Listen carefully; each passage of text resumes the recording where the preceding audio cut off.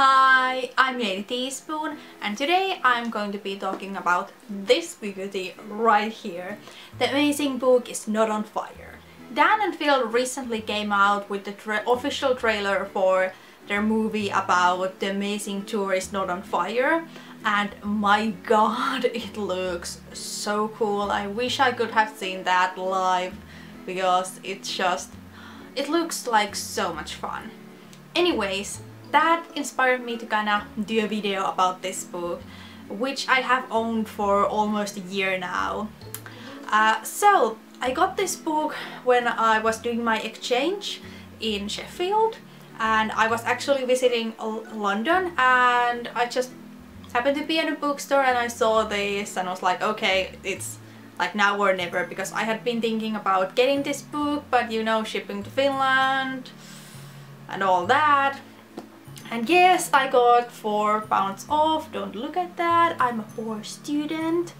But even if I had paid the full price for this, this is worth like every penny. Uh, it's got hard covers and it's pretty thick. And from the very first page you can tell that it's going to be a very colorful and very fun book. So the book pretty much documents their life from like childhood and there's high school experience, university experience, um, little like trivia and stuff um, about their apartment, how they met, how they started YouTube, uh, just little memories about their life and people that they have met and all that. And it's very colorful and very nice. I love that they have so many pictures here.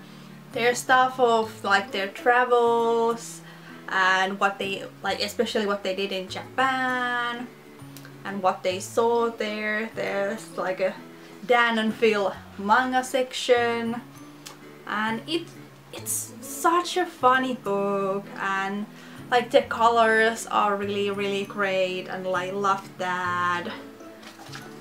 They have pictures of the fun art that they have gotten.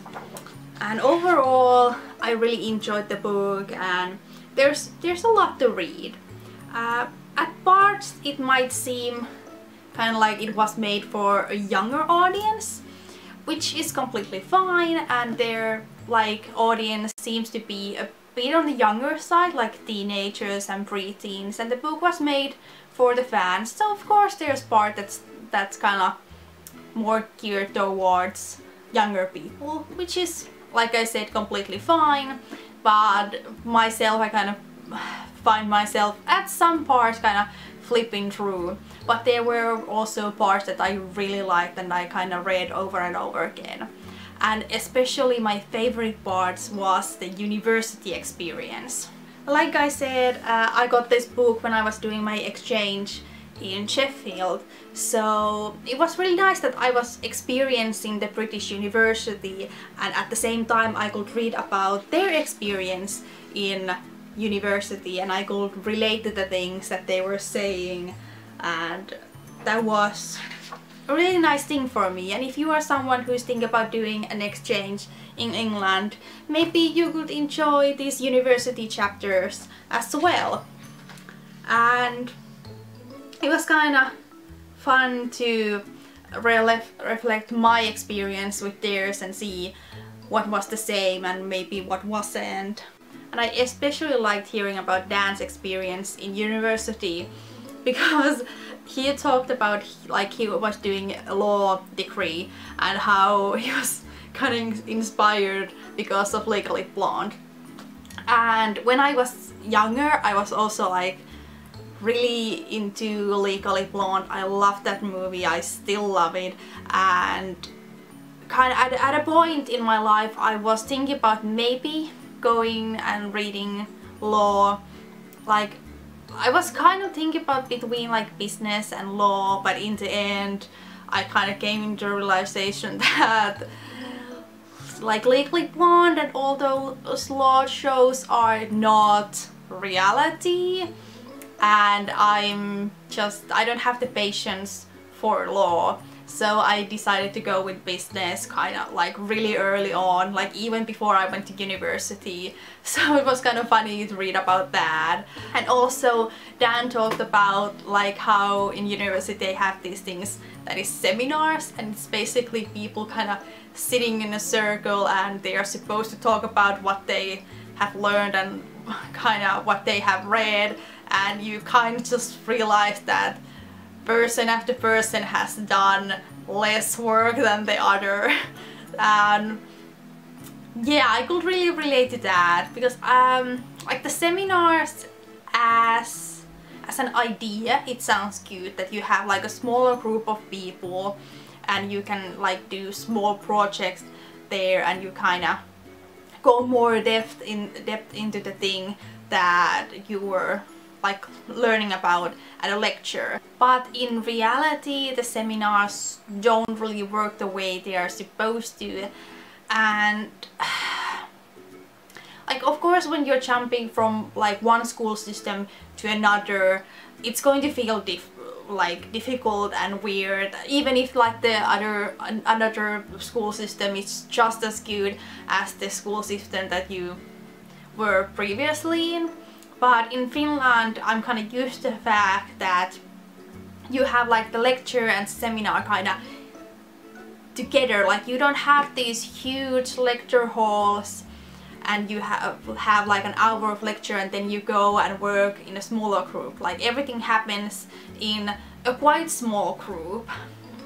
And you can have like a lecture but you do like um, some projects and stuff at the same time and a lot of the learning happens at school so you don't have that much like homework and stuff to do at home.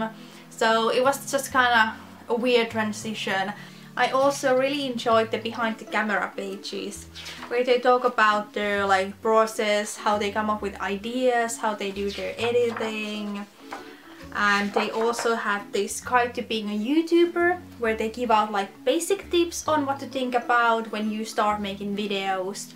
And I started making videos way before I bought this book but I still really enjoyed reading these uh, pages. And I have to admit that even though the tips are pretty basic, maybe I should reread this chapter and take note because sometimes my videos to turn out to be crap.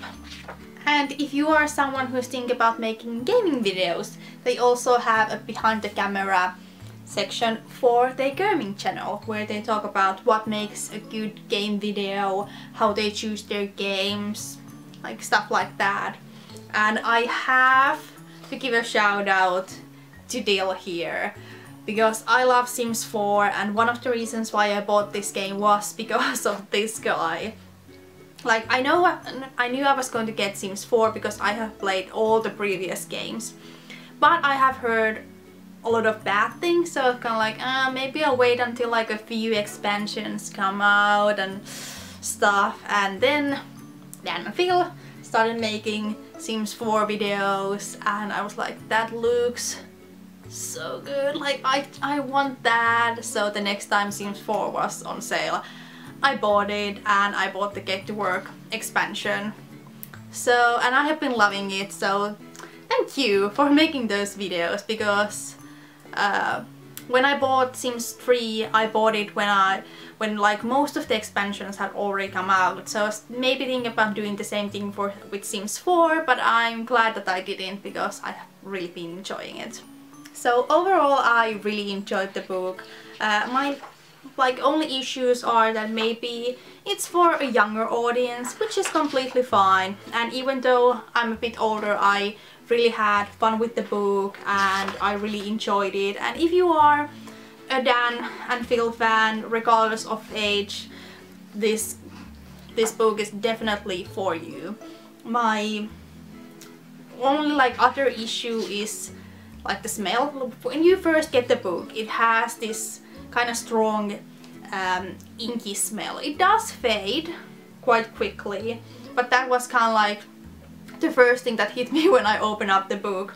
And the only reason that I'm mentioning this is because when Dan and Phil were picking out like the papers. Uh, there was this thing like, I think it was Phil who was kind of touching the papers like, oh this has a nice feel and it also smells good. So that is like, the only reason that I'm mentioning this. So to some people the smell is lovely. I know a lot of people love the smell of ink.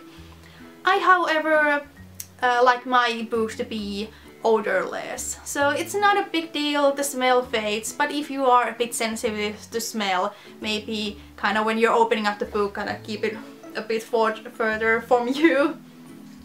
But yeah, that's my only issue. The book is really fun, it's very colorful, the paper does have a nice feel, so good job. And yeah, it's definitely worth the price. It's not that expensive, especially since it is pretty thick and it has hard covers. So I'm definitely interested uh, to see what Dan Phil will come up next and I'm looking forward to watching, watching them grow and I'm really looking forward to the movie. And yeah maybe in the future I'm like hoping at least that they make another book that is maybe geared towards like the a bit bit more like the older audience. But we'll see what happens next so that's it for today. If you have any questions, comments, uh, whatever, please leave them down below and I will see you next time. Bye!